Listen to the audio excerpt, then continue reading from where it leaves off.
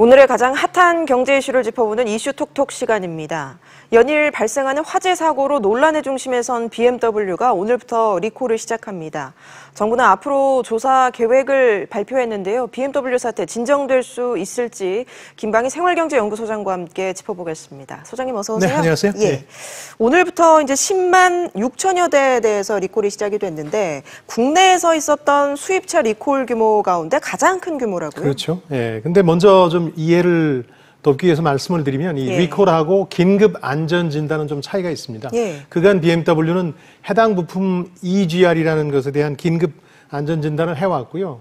회사 측에서 밝힌 바에 따르면 8월 16일까지 90%의 차량에 대해서 안전 진단을 끝냈다고 그럽니다. 음. 그러니까 그것과 별개로 지금 리콜의 경우는 훨씬 더 부품 교체를 포함해서 아, 조치의 범위를 넓혀서 오늘부터 이제 시작이 되는데 예. 말씀하신 것처럼 문제가 됐던 520D 디젤 모델을 포함해서 42개 모델 10만 6천 대니까 그야말로 수입차 사상 최대 리콜 규모다 이렇게 볼 수 있겠습니다. 예. 리콜 내용을 보면 이제 BMW가 화재 원인으로 지목하고 있는 그 EGR 부품을 교체해 주는 작업이죠. 네, 그렇습니다. 그러니까 EGR이라는 배기가스를 다시 순환시키는 장치에 문제가 있다고 보는 게 예. BMW의 시각이고 이 화재 원인에 대해서는 지금도 그 입장을 고수하고 있습니다. 여러 가지 의혹과 논란에도 불구하고 그러니까 그 EGR이 파이프를 통해서 흡기 다기관이라는 파이프를 통해서 다시 배기가스를 불러들여서 어, 침전물이 누적된 상황에서 이 침전물에 발화가 돼서 화재가 발생했다는 게 회사 측 입장인데 그러다 예. 보니까 EGR 부품만 교체하는 게 아니라 이 침전물에 대해서 세척도 하고 예. 에, 교체해서 이 부분에 대한 이제 온전한 사고 가능성을 낮추겠다는 게 BMW의 입장입니다. 네.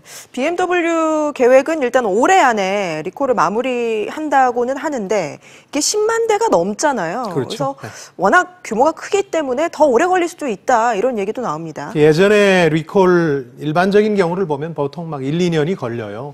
해당 부품을 그냥 단순히 교체 기계적으로 하는 게 아니라 원인들을 파악해야 되기 때문에 예. 그러니까 BMW 같은 경우는 이제 워낙 비난에 초점이 돼 있기 때문에 올해 안에 다 끝나겠다 이렇게 공언은 했는데 우선 문제가 되는 게 이미 그 부품을 공수하는데 좀 문제가 있지 않느냐 지적이 나오거든요. 예. 배로 공수하던 걸 비행기 편으로 공수하겠다 이렇게 회사 측에서 밝히긴 했습니다만은 61 그러니까 이제 61 서비스 센터에서 예약을 해서 이 리콜을 진행 중인데 벌써 일부 소비자들 예약을 하려고 보니까 올해를 넘기겠다 하는 답도 예, 들었다고 해요. 그래서 올해 안에 마무리하겠다는 건 일단 아, 목표 정도로 생각하시면 되겠습니다. 그럼 그 사이에 또 화재가 발생할 수도 있는 것이고 불안감은 여전한 상황이군요. 그러지 말아야 될 텐데 그럴 가능성은 예. 음. 충분히 있는 거죠. 그래서 사실 뭐 리콜 발표 이후에도 한 10여 건의 화재가 발생하지 않았습니까? 음. 또 일부는 안전 진단을 통해서 문제가 있는 부품을 교체했는데 또 화재가 생겨났기 때문에 이 차주분들의 불안감은 여전하겠다 하는 생각이 들고요. 어, 그 밖에 여러 가지 다양한 가능성들이 있기 때문에 예. 중요한 거는 이제 화재 원인을 명확하게 규명하는 게 아닌가 싶습니다. 음. 이 화재 원인 때문에 불안감이 더 증폭되는 거거든요. 회사 측이 밝힌 것 가지고는 도저히 믿을 수 없다. 예. 다른 예도 있는 거 아니냐 이런 어, 불, 불안이 있기 때문에 이걸 잠재우기 위해서는 예. 정확한 화재 원인 규명이 선행돼야 될 것 같습니다. 예. 리콜이 이렇게 시작된 가운데 정부가 이제 각종 의혹에 대한 조사 계획을 내놨습니다. 어떤 그렇죠. 부분을 집중적으로 들여다볼까요? EGR이라는 부품 교체와 아, 인근에 대한 세척 작업에 리콜이 이제 주력한다면 음. 그 우리 조사단 같은 경우는 이제 다양한 각계 전문가들을 포함하고 있는데 우선 그 침전물이 발화될 수 있는 성질의 물질들인지 예. 음. 눌러붙은 것들이 또 하나는 그 진작부터 제기가 됐던 겁니다만 소프트웨어 오류는, 오류는 아니에요. 예. 회사는 물론 부인하고 있고요. 예. 이 부분도 이제 살펴봐야 될 거고 흡기 다기관 배기가스를 다시 빨아들이는 이게 이제 사실은 불연성, 불에 잘 붙지 않는 걸로 해야 되는데 원가를 낮추기 위해서 플라스틱, 불에 잘 붙는 걸로 했다는 지적도 지금 나오고 있거든요. 예. 이런 부분들에 대해서 아주 세심한 어떤 조사가 있어야 되고요. 최근에 그 자동차 애호가들 사이에서는 상당히 신뢰도가 높은 자동차 명장 1호 박병일 씨가 이건 엔진 설계 자체의 결함이다. 이런 지적도 음. 아, 했기 때문에 예, 예. 원인을 규명하는 게 생각보다 조금 복잡할 뿐만 아니라 시간이 많이 걸릴 것 같다. 음. 그래서 이 사태에 어려움이 더 있는 것 같습니다. 정부 이제 조사에 여러 기, 각계 인재층들이 참여를 하게 되는 거죠. 그렇죠. 근데 이제 1년여 정도를 예상한다고 진작부터 조사단을 꾸리면서 발표를 했었는데 그만큼 그 확실한 원인을 파악하기가 어렵다는 뜻이거든요. 1년이 네. 걸린다는 얘기는 전문가들이 다 동원돼서. 근데 이제 어쨌든 엔진 결함 얘기까지 나오는 마당이고 보니까 사실은 살펴봐야 될 내용들이 상당히 많습니다. 그 음. 회사 측에서 고수하고 있는 EGR이라는 단순 부품의 문제만으로 규정하고 넘어가기엔 워낙 불안한 게 많기 때문에요. 예. 아, 다양한 그 어, 조사 범위와 대상을 상대로 꽤 오랜 시간 조사해야 될 것 같습니다. 예. 정확한 화재 원인이 좀 하루빨리 규명이 돼야 될 텐데 일단 예. 앞서도 얘기가 나왔지만 BMW 주장은 EGR이라는 부품 결함이잖아요. 그렇죠. 그런데 이번에 정부 조사를 통해서 혹시 이게 아니라 다른 원인이 있다. 그럴 경우에는 이게 최악의 리콜, 시나리오죠. 예, 리콜만으로 해결된 문제가 그렇습니다. 아니죠. 리콜 예. 이후에 또 리콜이 돼야 되는 상황이 벌어지기 예. 때문에 그리고 그 경우라면 어, BMW가 그 원인을 고의적으로 은폐하지 않았느냐 하는 의혹까지 연결이 되기 때문에 상당히 문제가 복잡해질 가능성이 있고요.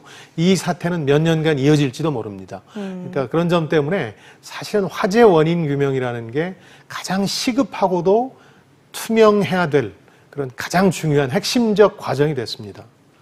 예, 이 BMW가 결함을 알고도 숨겼나 음. 이 부분도 지금 상당히 핵심 논란 중에 하나인데요. 그렇죠. 최종적으로 결함 은폐했다라는 결론이 날 경우에 이제 파장이 걷잡을 수 없이 커질 것 같은데 BMW가 이럴 경우에 어떤 그 조치를 받게 될까요? 이게 이제 BMW 소비자 피해 모임 같은 걸 통해서 경찰에 예. 고발했고 경찰이 수사를 하고 있는 대목인데 에, 국토교통부는 이 의혹이 사실인지 여부를 우선 파악하게 되고요.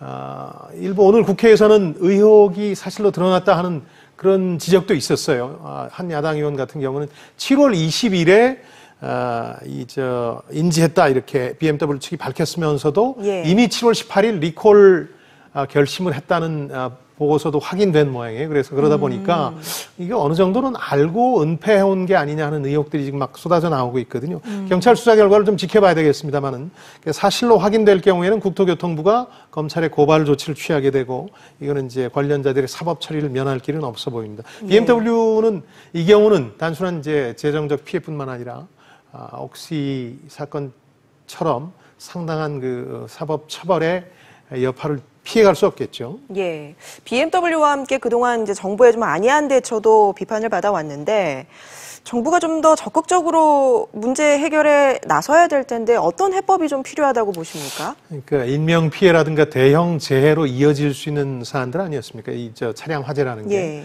예. 너무 늦장 대응을 하면서 상당한 위험을 키웠고 인명 피해나 대형 재해가 이어지지 않은 게 어떻게 보면 기적적이라고 할 만큼 여기까지 왔죠. 그래서 예. 그 초창기에 운행 중지를 할 수 있는 행정 명령의 법적 근거들을 다시 갖춰야 되겠고요. 그래서 음. 정말 문제가 있어서 이게 인명에 피해를 줄 수 있고 대형 재해로 이어질 수, 이어질 수 있다 그러면 바로 운행 중지를 할 수 있게 하고 해당 회사로 하여금 어, 리콜 조치를 할 수 있도록 해야 되겠고요. 또 하나는 어, 국토부가 이미 검토 발언을 했습니다만은 이 징벌적 손해배상제도 이제 전향적으로 검토할 때가 됐다.